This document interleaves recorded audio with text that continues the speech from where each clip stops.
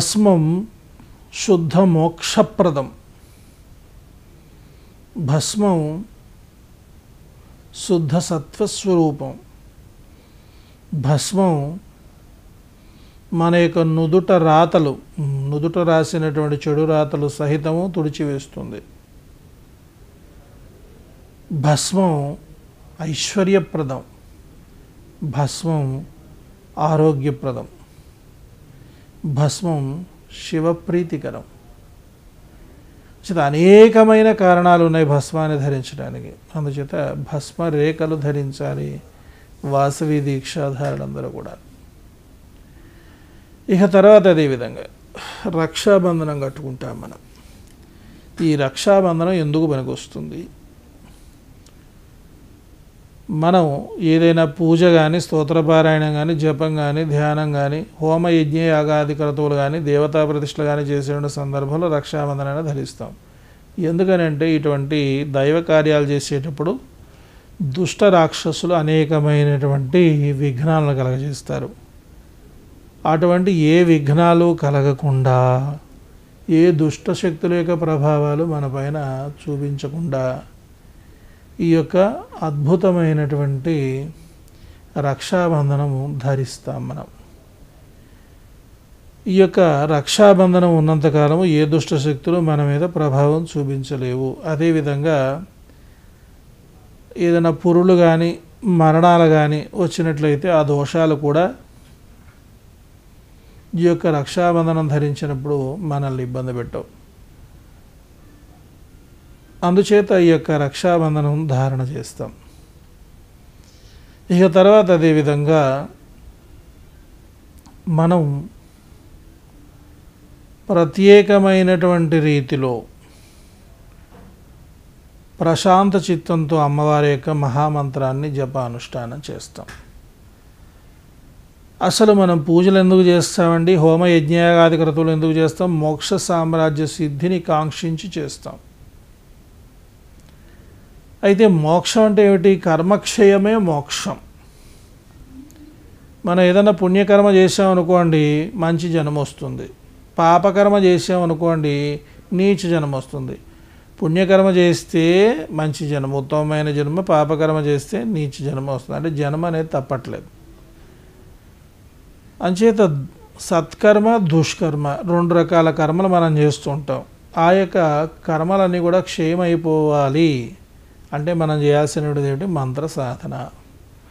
అందులో కలియుగంలో గణపతి ఆంజనేయుడు అమ్మవారికి సంబంధించిన ఉపాసనలు అఖండమైనటువంటి ఫలితాన్ని ప్రసాదిస్తాయి. ఆ మూడిట్లో అమ్మవారి యొక్క ఉపాసన అఖండ ఫలాన్ని మరింత తీవ్రమైనటువంటి శక్తివంతమైనటువంటి ఫలితాన్ని ప్రసాదిస్తుంది. అందుచేత మనం చేయాల్సినటువంటిది ఏంటంటే అమ్మవారి యొక్క అద్భుతమైనటువంటి మహామంత్ర సాధన. ఈ మంత్ర సాధన చేసేసరికి మన కర్మలన్నీ కూడా క్షేమైపోయి మోక్ష సామ్రాజ్య సిద్ధి మనకి కలుగుతుంది. సరే మోక్షాన్ని కాంక్షించడం అంటే సరిపోయిందా అండి? దానికి తగిన రీతిలో మనం కూడా మానవ ప్రయత్నంగా కొన్ని ప్రయత్నాలు చేయాలి. అంచేత ఈ యొక్క ప్రయత్నాలన్నీ కూడా ఏమిటి? ఈ దీక్షలన్నీ కూడా ఏమిటి? మోక్ష సామ్రాజ్య సిద్ధిని కాంక్షించి. ఇక తర్వాత అదేవిధంగా ఏకభుక్తం. ఒక పూట మాత్రమే భోజనం చేస్తాం. అసలు అమ్మవారి యొక్క ఆరాధనలో అమ్మవారి యొక్క దీక్షా విధానంలో నిర్వహించాల్సినటువంటి ఈ యొక్క ఉపవాస దీక్ష ఎట్లా ఉండాలంటే ఉదయం నుంచి సాయంత్రం వరకు ఉపవాసం ఉండి రాత్రి అమ్మవారికి అర్చనాది కార్యక్రమాలు పూర్తి చేసుకుని నక్షత్ర దర్శనం చేసుకున్న తర్వాత అప్పుడు మనం ఈ యొక్క ప్రసాదాన్ని స్వీకరించాలి భోజనం చేయాలి. ఇది చాలా ముఖ్యమైనటువంటి విషయం అన్నమాట. అయితే ఈ ప్రకారంగా అన్నాన్ని మనం స్వీకరించడం చేత మన గర్భంలో ఉన్నటువంటి అనేకమైనటువంటి దోషాలు కరిగిపోతాయి. అందులో ఆరోగ్యం సంపూర్ణంగా వృద్ధి చెందుతుంది. అందుచేత అనారోగ్య సమస్యల్ని పోగొట్టి ఆరోగ్యాన్ని ప్రసాదించేటువంటి జీర్ణక్రియను క్రమబద్ధీకరించేటువంటి సంపూర్ణమైనటువంటి ఆరోగ్యాన్ని ప్రసాదించేటువంటి తద్వారా ఆయుర్దాయాన్ని ప్రసాదించేటువంటి రీతిలో ఈ యొక్క ఏకభుక్తము అంటే నక్తము అని చెప్పాలి న్యాయంగా చెప్పాలంటే. నక్తం చేయలేని పక్షంలో ఏకభుక్తం అంటే మధ్యాహ్నం భోజనం రాత్రి ఫలహారం ఈ ప్రకారంగా స్వీకరిస్తూ ఉండాలి. ఇక తర్వాత అదేవిధంగా శిరస్నానం చన్నీటి స్నానం. చన్నీటి స్నానంలో చాలా గొప్ప ప్రత్యేకత ఉంది. జలంలో విద్యుదయస్కాంత శక్తి తరంగాలు ఉంటాయి. ఈ యొక్క శక్తి ఏదైతే ఉందో చన్నీటి ద్వారానే మన శరీరంలో ప్రవేశిస్తుంది. అందుచేత ఈ యొక్క చన్నీటి స్నానం చేసినప్పుడు ఒక్కసారిగా మనకి ఇట్లాగా జర్క్లాగా అనిపిస్తుంది.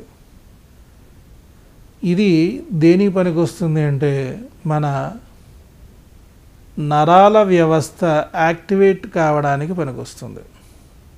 అంచేది ఈ ప్రకారంగా చన్నీటి స్నానం మరి అనేకమైనటువంటి రుగ్మతలను పోగొడుతుంది. ఇక తర్వాత అదేవిధంగా నామ సంకీర్తన విశిష్టత కూడా మనం చెప్పుకున్నాం. ఈ నామ సంకీర్తన చేసేటప్పుడు ఈ యొక్క నామ సంకీర్తనలన్నీ కూడా సంగీతపరంగా ఉండాలి.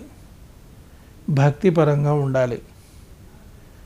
చాలామందిని చూస్తున్నాం సినీ పక్షిలో ఈ యొక్క నామ సంకీర్తనలు చేస్తూ ఉంటారు. ఈ ప్రకారంగా చేస్తే అవి గుర్తొస్తాయి తప్పించి ఇవి గుర్తు రావడం అనేది జరిగిందంటే కలిధర్మం గనక. అంచేత అటువంటి బాణీలలో ఆ నామ సంకీర్తనలు చేయడం అనేది మానుకోవాలి. సంగీతపరంగా మాత్రమే ఈ యొక్క అద్భుతమైన నామ సంకీర్తనలు చేసుకోవాలి. ఇది చాలా ముఖ్యమైనటువంటి విషయం. అదేవిధంగా ప్రతినిత్యము కూడా వాసవి కన్యకా పరమేశ్వరి అమ్మవారి దేవాలయాన్ని సందర్శిస్తూ ఉండాలి. లేదంటే కనీసపక్ష అమ్మవారి దేవాలయాన్ని మనం ద్వితీయం దర్శనం చేయాలి. ఆ గ్రామంలో వాసవి మహత దేవాలయం లేకపోతే కనుక అమ్మవారి దేవాలయానికి వెళ్ళి అమ్మవారి యొక్క ప్రసాదాన్ని స్వీకరిస్తూ ఉండాలి. దేవాలయ సందర్శనం కోటి దోషహరణం.